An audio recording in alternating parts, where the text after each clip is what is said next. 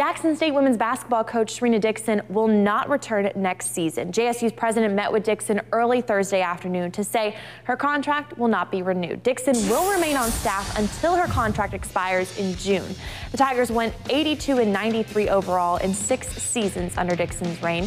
Lady Tigers started out hot this year with a 3 0 SWAC record, but lost down the stretch. The search for Dixon's replacement begins immediately.